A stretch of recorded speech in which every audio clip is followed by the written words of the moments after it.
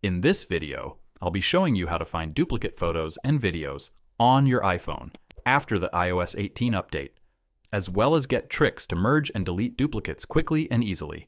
The user interface of the iPhone Photos app changed in the latest iOS 18, so of course, let's learn to detect duplicate photos on your iPhone. To finding duplicate pictures in iOS 18, open the Photos app. You can find it using Spotlight Search or Access via the app library. If photos are missing, write a comment below. On the main screen, scroll down the screen all the way under the Utilities section. Tap on the Duplicates section.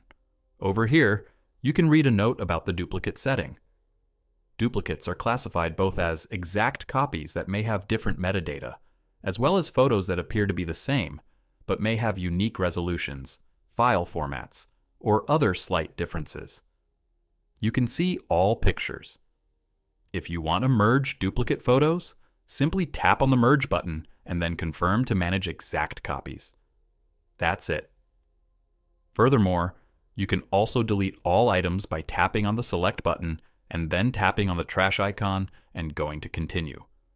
This way, you can wipe all duplicate copies in the Photos app. Suppose utilities are not visible, tap the Customize button and select the Utilities option. Now you can see all options available under the Utilities section. Dear friends, I hope you found this trick as the best way to find duplicates in Apple Photos. Thank you so much for watching and I'll see you in the next video.